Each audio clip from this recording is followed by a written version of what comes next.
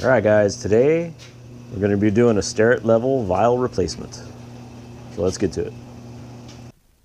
All right, everybody, welcome back to the old iron shop. All right, guys, here's all the parts and supplies, tools, and everything we'll need to fix this uh, this uh, Starrett 9812 level that I've been uh, trying to work on. Uh, I got some Durham's putty. Normally they call for uh, plaster of Paris. I don't have that, but uh, this will work. And we're going to cut it half and half with flour, which will make it weaker because you want to be able to dig it out. The, the guy who did this the last time used like epoxy, and that was no fun to dig out of there.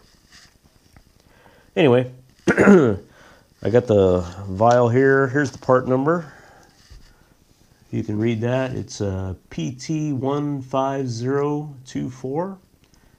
And you can get that on Amazon. I'll put a link down the bottom in the description. Uh, it's about $26, and I think it's even free shipping, so not a bad deal. Anyway, had to order these things here. And these are Teflon springs.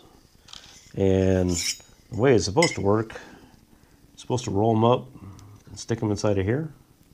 And then this piece is supposed to go inside of it. But uh, I tried and tried and tried. And I don't know what the story is here, if this is uh, something slightly different or what, but it will not fit in there. So I kind of found another way. I cut it a little bit shorter. I think we can make it work with less in there. I'm not sure why it's like that, but that's just the problem I'm having. Another thing you're going to need is uh, some paper to go behind the, the vial. And I bought a piece of, uh, it's like acid-free paper, like archive quality paper from the hobby store. Uh, I got another piece of it right here. And it's got a really nice pattern, but I tried to find one that had the, the least, you know, least color so it wouldn't show through, you know, the way it's nice and white on that side. All right, so the first thing you're going to need to do, you know, if you're working on one of these is you're going to have a broken vial in here. So you got to disassemble this whole carrier here. And, you know, it's easy enough to get it off of the base. And what you're going to have to do is lock one side probably in a vise or something like that and get a hold of the other side with a pair of pliers or something like that. But try to get something that's going to protect it, some leather or something like that. Work pretty good. Anyway, then you're going to pull it. And one side is always a little tighter than the other. So that side there come out first. So when you go to slide this thing off, remember now there's supposed to be a Teflon spring inside of here. And it's just to give drag to this. This thing spins really free, right? Be careful when you slide this off. You don't drop it and lose them. I guess that's a common problem. I didn't have mine in, it, in this one here because somebody lost them the last time they, they were replacing it. Anyway, once you got one side out, you know, you don't want to try to grab hold of this. You might crush this, this tube or distort it. You don't want to do anything like that. So just work at breaking out this vial and find a drill bit or something like that that will just fit inside of here and you can kind of bore out hopefully they're using plaster or something like that you can kind of just work that out of there. Uh, use a punch maybe at the very end knock out the bottom of the vial that should work. That's what happened what I did. Uh, once you got it out then you can if you can't get a hold of this and pull it out you could use a punch and just slide a punch all the way through you know and just just tap it out and it should come out without too much trouble so that's how that's assembled. Okay, so the next thing you're going to do once you get it all disassembled and cleaned up, me go and move all this stuff out of the way. You need to uh, take your vial and just make sure it'll pass through here, right? See, it just slides right through easy. Uh, it can't be binding up on junk that's left in the side of there. If it doesn't go through easy, uh, get back inside of here. You know, there's probably just some little bit of junk that uh, that didn't come out. Just got to make sure it's really good and clean. And then the next thing, I already made mine up, but get your paper. And I, for mine, it took uh, two layers of this stuff in particular. Maybe you can get away with one or less. I don't know. And then uh, slide this in there.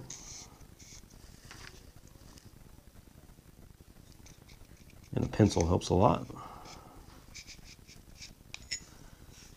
So now I've got that in there. And there's a couple of little dents in here that kind of seem to help register that. Uh, I'm quite a bit shorter than that, I think, but I don't know. Anyway. And then this vial should just fit right in there real nice. See? Slides in, but it doesn't fall out. Well, famous last words, right? Okay, so now we need to get ready to mix up our plaster.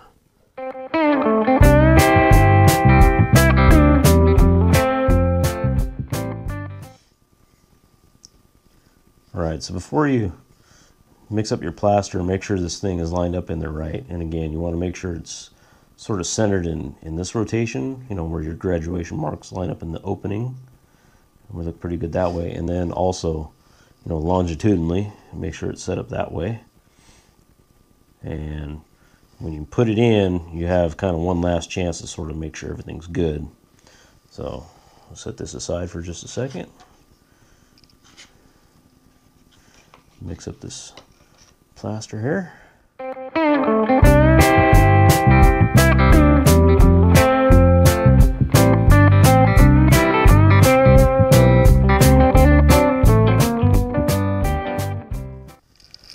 There's last chance. Get that lined up good. I think that looks good. All right, I'm going to go grab a Q-tip and clean up the ends of this tube real quick before it sets. Okay, well, been 24 hours and uh, this stuff is, uh, it's at least it's solid. Uh, adding the flour to it really, really extended the curing time. But uh, this is solid enough now that I feel safe, uh, you know, bedding the other side here. So, I don't know if we can we get a shot in there. Yeah, you can kind of see, get it lined up. There's a little plug in there, but it's kind of, you know, ran out a little bit, but that's okay.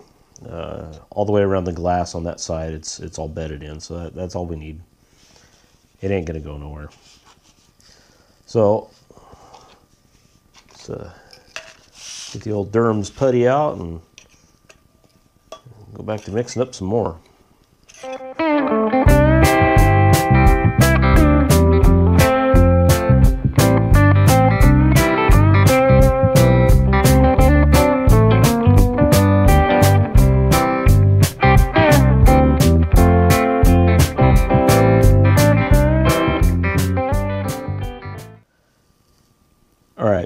It's the next day uh, again.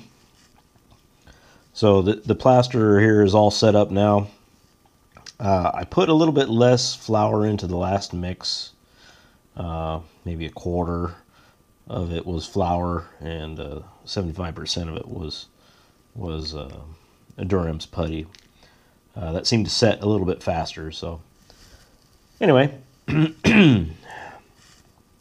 The, uh, the next order of business here is we need to put the plugs into the carrier here. And simultaneously we need to put the, you know, the guard here on. And we need to put one of these little pieces of Teflon inside of this. And when this goes together, it's really important that uh, these ears, you know, they're flat. Uh, they need to be parallel to each other. So that's what I've got my poor man's surface plate here.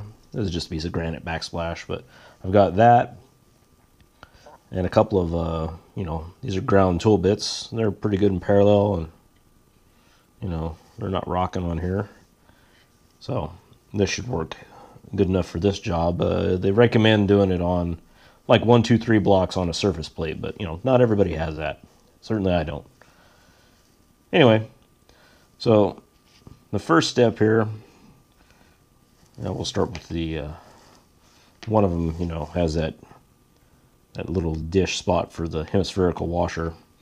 We'll, uh, we'll start with the other side. And I don't think it really doesn't matter. I just want to try to eyeball it here a little bit. But I'm not going to put it in there far enough to really lock it up, you know.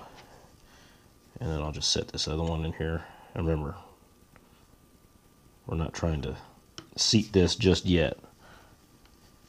Uh, what I kind of want to try to do, I want this opening to be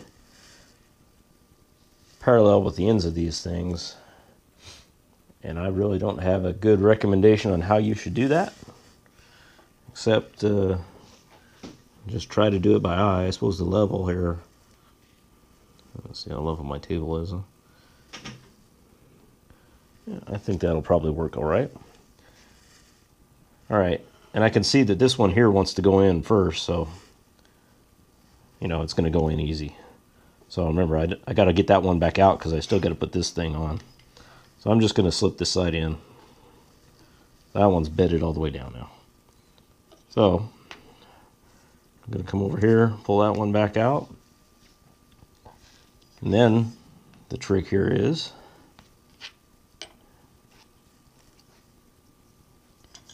you got to hold this little piece in here. You kind of need three hands for this. And we're to leave a little bit of a tail sticking out. Now those should just roll up inside of there. Uh, I don't really know why this one doesn't seem to want to work like that, but that is the way this one's going to have to go. Nice and snug. Now once I get down here, I'm just going to use a razor knife and trim that off. I wish I had a, a better way of doing this, but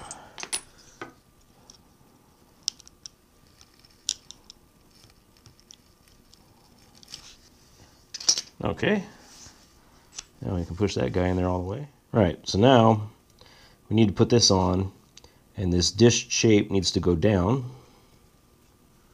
And we'll just sort of start that in there. And, well, you can see I'm off a mile there. Kind of line it up. And I'm going to hold this down and push that on there.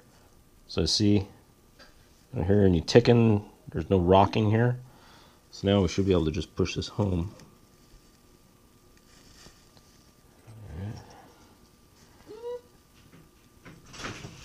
All right.